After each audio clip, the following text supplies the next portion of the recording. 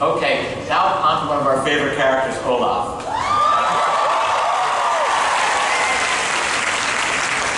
So Olaf was a sweet, naive character, and we knew he'd be singing pretty quick.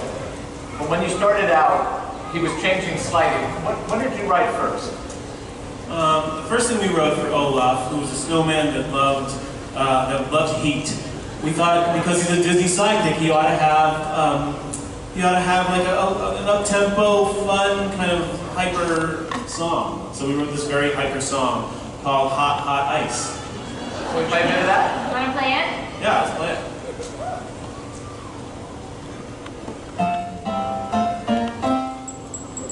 Imagine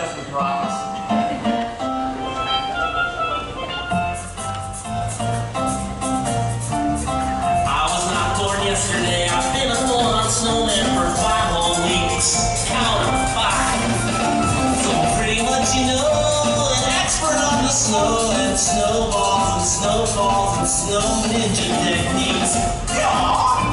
But what would happen if you put this memory snow in the hottest day of summer and said, go.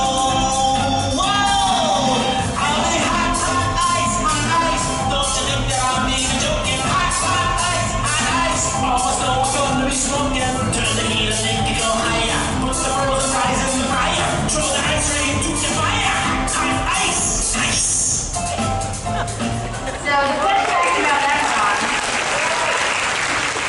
we did that demo in the morning, and we had a meeting with Chris Montan and Chris Buck and Jennifer Lee, and it got cut that afternoon. it lived for one day. Um, snowball and uh,